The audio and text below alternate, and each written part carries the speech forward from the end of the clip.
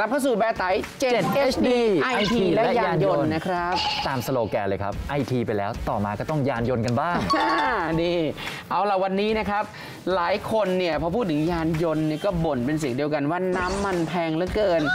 ทางรายการเราก็เคยแนะนำนะครับวิธีการเลือกรถ EV หรือไฟฟ้ากันไปแล้ว แต่ว่าทางนี้ทั้งนั้นถ้าคุณยังไม่พร้อมในการจะเปลี่ยนรถใหม่นะขณะนี้นะครับวิธีที่แนะนำแล้วดีกว่า ก็น่าจะเป็นการประหยัดน้ำมันได้ นี่ เดี๋ยววันนี้เรามาดูขั้นตอนการประหยัดน้ำมันกันหน่อยนะ มีเคล็ดลับมาฝาก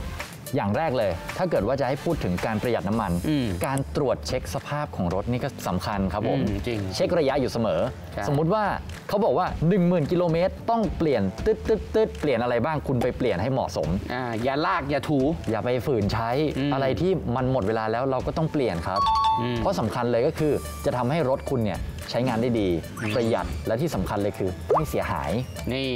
อย่างที่สองนะครับเรื่องที่หลายคนลืมคิดไป เติมลมยางให้พอดีฮะต้องทำอย่างสม่ำเสมอด้วยนะ ลมยางเนี่ยเป็นสิ่งที่เขาเรียกว่าผู้ขับขี่อาจจะลืมนึกไปโดยไม่รู้ตัวนะครับ เพราะว่ายางที่อ่อนเกินไปมันจะเกิดแรงต้านกับการหมุนของล้อรถยนต์ใช่ไหมครับครับพอรถยนต์ต้องออกแรงมากขึ้น น้ำมันในการขับเคลื่อนก็ใช้มากขึ้นครับทีนี้นะครับถ้าเราจะตรวจสอบลมยางให้อยู่ในระดับดีสม่ำเสมอนี้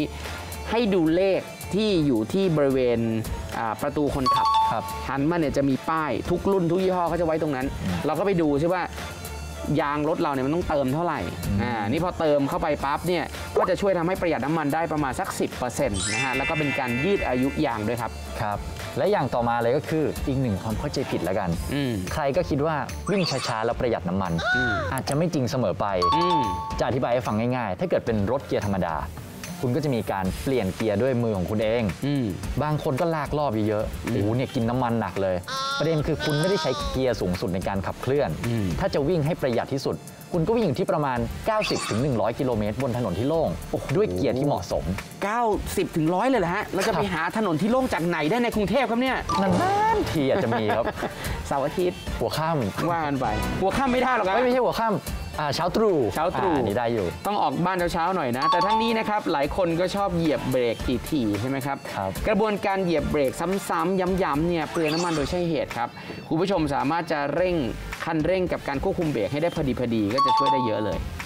ข้อสุดท้ายที่สำคัญมากครับอืมหลีกเลี่ยงนะครับ การจอดรถสตาร์ททิ้งเอาไว้นานๆ พูดง่ายๆเลยคือ ถ้าเกิดคุณจอดรถทิ้งเอาไว้ 1 ชั่วโมงเนี่ยอาจจะกินน้ำมัน 1-2 ลิตรอืมเบนซินตอนนี้ลิตรละ 50 1 ชั่วโมงร้อยหนึ่งอ่าโอ้โหแพงน่าดูถูกต้องระวังนะครับ และที่สำคัญเลยคือ ปล่อยแก๊สคาร์บอนไดออกไซด์ทำให้โลกร้อนอีกต่างหากถูกต้องเลยนะ อันนี้ก็เพื่อที่จะได้ควบคุมมลพิษให้ได้มากขึ้น อย่าไปสตาร์ทรถทิ้งไว้นะครับ ถ้าเป็น EV แล้วทำได้นะ EV นี่ปล่อยไปยาวๆ เปิดแอร์ด้วยสบายไม่มีมลภาวะบอกใช่ใครนะอ้าว ทั้งนี้ทั้งนั้นเป็นวิธีการช่วยประหยัดน้ำมันนะครับก่อนที่คุณจะเปลี่ยนรถใหม่เป็น EV นั่นเองครับ ใช่ครับ แล้ววันนี้ก็หมดเวลาสำหรับเราสองคนลงแล้ว กลับมาพบกับเรื่องราวของไอทีและยานยนต์ดีๆ แบบนี้ได้อีกทุกวันจันทร์ถึงวันศุกร์เที่ยง 20 กับแบร์ไต 7 HD